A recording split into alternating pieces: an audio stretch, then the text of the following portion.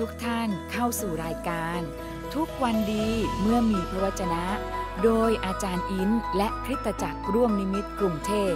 รายการที่สนับสนุนให้คริสเตียนรักพระวจนะ และรักในการอธิษฐาน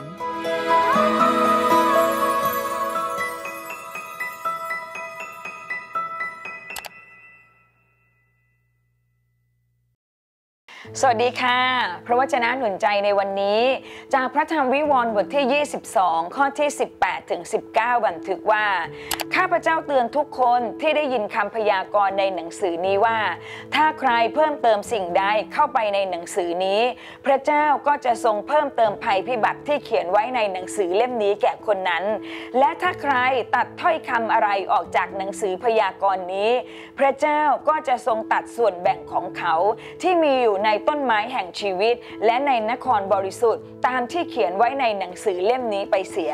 ข้อคิดจากพระวจนะนะคะ ไม่ต้องเพิ่มเติมอะไรในพระวจนะ ผู้อารักขาที่ดีไม่ต้องเพิ่มแล้วก็ไม่ต้องตัดถอนนะคะ ประการที่หนึ่งพระวจนะของพระเจ้าย้ำอีกครั้งว่าเป็นความสมบูรณ์แบบ เป็นความครบถ้วน ไม่มีวันผิดพลาด ไม่มีวันล้มเหลว แล้วก็ในประการที่สองดังนั้นเนี่ยอย่าเพิ่มอะไรเข้าไปในพระวจนะของพระเจ้า อย่าเอาความคิดหรือคำพูดของมนุษย์ไปเทียบเท่ากับพระวจนะของพระเจ้า เพราะจะเป็นการเพิ่มภัยให้กับผู้นั้นเอง และในประการที่ 3 อย่าตัดทอนถ้อยคำใดออกไปจากพระวจนะ ถ้าจะอ่านถ้าจะทำต้องทำให้ครบ สอนให้ครบไม่ตัดตอนไม่ตัดทอนนะคะ เพราะว่าจะเป็นการตัดแบ่งพระพรของผู้นั้นเอง ให้เราอธิษฐานด้วยกัน ข้าแต่พระเจ้าพระบิดาเราขอบพระคุณพระองค์สำหรับพระวจนะของพระเจ้าที่มาเตือนสติ แล้วก็หนุนใจชีวิตของเรา พระคัมภีร์เป็นความสมบูรณ์แบบ เป็นความสมบูรณ์พร้อมที่มาจากพระเจ้า ขอให้เราเฝ้าระมัดระวังที่จะไม่เพิ่มเติมสิ่งใดเข้าไปในถ้อยคำของพระเจ้า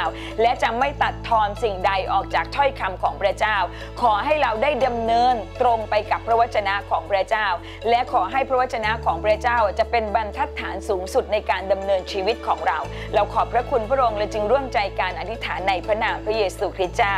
อาเมนนะคะ พระเจ้าอวยพรค่ะ